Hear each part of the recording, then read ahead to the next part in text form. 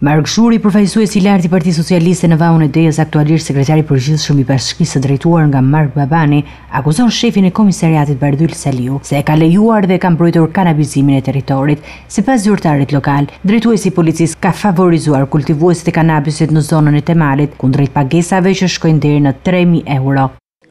Kanabizim asht komplet territori, asht i mbushur me, me kanabis, pra me mbështetjen e tij.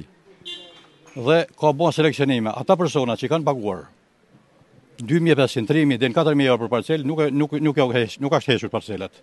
Të tjerët që s'kanë paguar, i kanë i kanë zhdukur, i kanë i kanë djegur. Edhe gjatë djegies Në muajin korrik janë djegur rreth dyqind hektarë pyje dhe kullota dhe gështenj në njësinë administrative Temal dhe asnjë person nuk asht nuk asht vu para përgjegjësisë.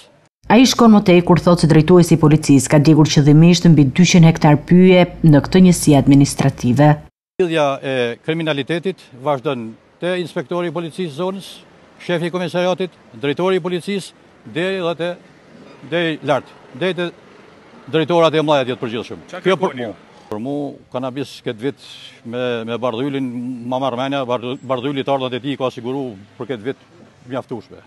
njëqind e pesëdhjetë për qind prodhimin e ka realizu. Për këtë veprimtari kriminale të kryepolicit të Vaut të Dejës, siç e cilëson zyrtari i bashkisë thotë se ka bërë kallëzim në prokurori dhe i është drejtuar me shkresa gjithë linjës drejtuese të Policisë së Shtetit deri te kryeministri Edi Rama duke paraqitur dhe prova, por veç heshtjes së autoriteteve thotë se është përballur edhe me kërcënimin e shefit të komisariatit të Vaut të Dejës.